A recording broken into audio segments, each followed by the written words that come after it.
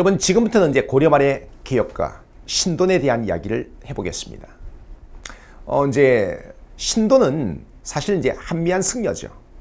그런데 어, 공민왕이 노국공주를 잃고 나서 어, 시리에 빠져 있을 때 어, 공민왕을 위로하면서 공민왕과 가까워졌습니다.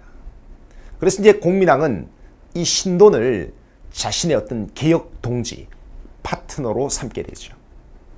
어, 이제 고려 사회는 어땠냐면 어, 권문세족이라고 하는 게 고려의 지배층이었습니다. 이 권문세족은요, 어, 도평이 사사라고 하는 관청의 고위관직을 얘네들이 거의 대부분 독점하고 있었습니다. 그 다음에 이들은 어, 산천을 경계로 삼을 만큼의 넓은 대토지를 보유하고 있었어요.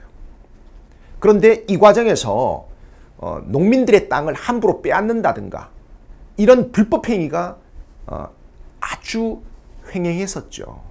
그래서 이제 이로 인해서 농민들의 어떤 생활 고통이나 농민들의 몰락이나 이런 것들이 심했습니다. 자, 이걸 뜯어 고치는 게 가장 중요하다라고 이제 공민왕과 신도는 판단을 한 거죠. 그래서 전민변정도감이라고 하는 걸 설치하고 신돈을 판사로 임명하게 됩니다. 그러면 전민변정도감은 어떤 기구일까요? 전, 받전자죠. 민, 백성민자죠. 변정, 바로잡는다. 도감, 무슨 무슨 기관이라는 거죠. 그래서 어, 권문세족의 대토지, 그 다음에 이로 인한 농민몰락, 이걸 시정하게 한 기관이다. 이런 뜻입니다.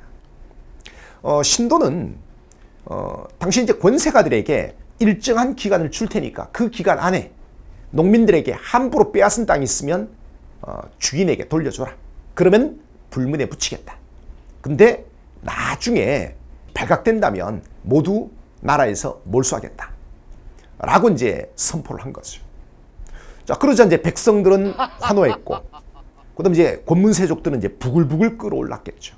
실제로 어, 권문세족들 중에서 어쩔 수 없이 뭐 원주인에게 농민들에게 땅을 돌려준 사례도 있고 그렇습니다.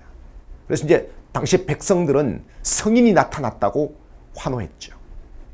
그런데 어, 이 신돈의 기억도 몇 년 지나면서 점점 이제 어, 이렇게 개혁이 약간 좀 이상한 방향으로 흘러가게 되죠. 어, 신돈 자신이 어, 사치와 향락에 빠져들고 그 다음에 어, 이제 당시에 이게 백성들 사이에 신돈이 너무 좀 이렇게 추앙받다 보니까 공민왕도 여기에 대한 어떤 뭐 약간 질투랄까 뭐 이런 것들이 있었겠죠. 그 다음에 이제 어 약간 당시 이제 신돈이 좀 이게 좀 이 공민왕 앞에서 이제 거만한 모습을 드러내기도 하고, 하고 그랬었습니다.